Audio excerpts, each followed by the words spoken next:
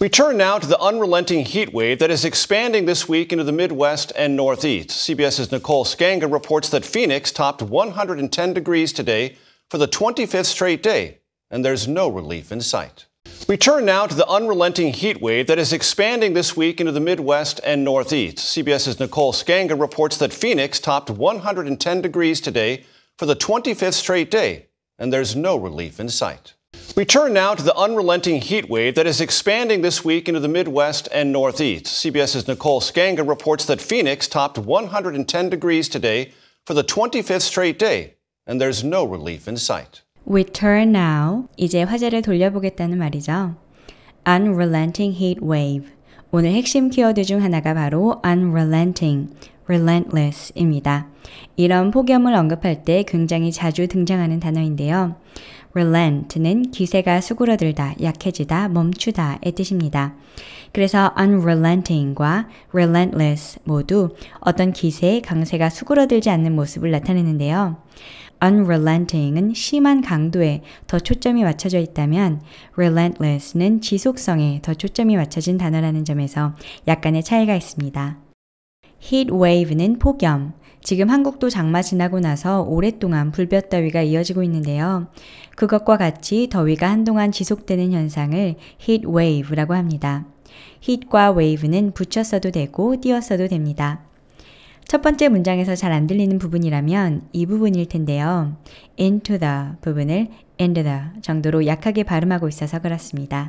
We turn now to the unrelenting heat wave that is expanding this week into the Midwest and Northeast. 탑은 동사로 become more than, higher than 이라는 뜻이 있습니다. 즉 뒤에 나오는 숫자를 넘어선다는 말입니다. 따라서 이 문장은 피닉스라는 도시가 오늘 110도, 섭씨로 43도를 넘어섰다. 그런데 그게 무려 25번째 연속이라고 하죠.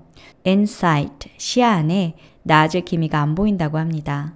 We turn now to the unrelenting heat wave that is expanding this week into the Midwest and Northeast. CBS's Nicole Sganga reports that Phoenix topped 110 degrees today for the 25th straight day, and there's no relief in sight.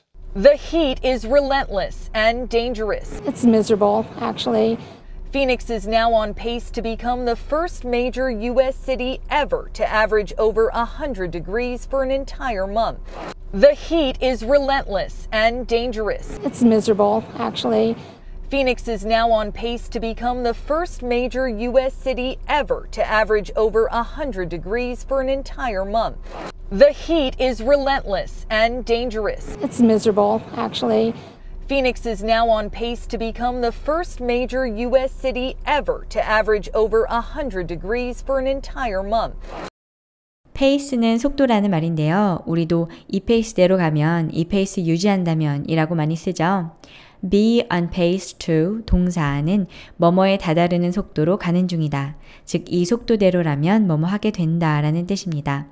따라서 이 문장은 이 정도 속도라면, 즉, 이대로 가면 월 평균 기온이 100도, 섭씨로 37도를 넘는 첫 번째 도시가 될 거다 라는 말입니다. 와, 정말 끔찍하네요. The heat is relentless and dangerous. It's miserable, actually. Phoenix is now on pace to become the first major U.S. city ever to average over 100 degrees for an entire month. Extreme heat is magnifying surface temperatures. Even quick contact can cause first degree burns at 118 degrees.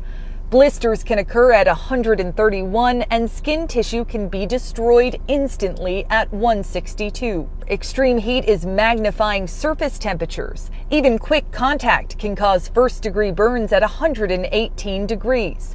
Blisters can occur at 131 and skin tissue can be destroyed instantly at 162. Extreme heat is magnifying surface temperatures. Even quick contact can cause first degree burns at 118 degrees.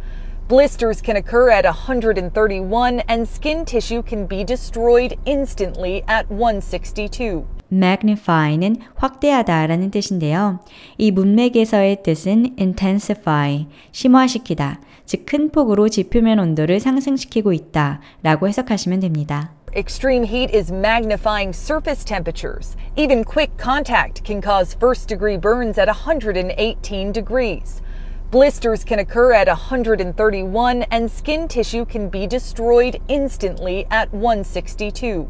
In Arizona, surface temperatures can reach 180 degrees. Across the country, keeping cool can prevent heat exhaustion and heat stroke. In Arizona, surface temperatures can reach 180 degrees. Across the country, keeping cool can prevent heat exhaustion and heat stroke. In Arizona, surface temperatures can reach 180 degrees. Across the country, keeping cool can prevent heat exhaustion and heat stroke.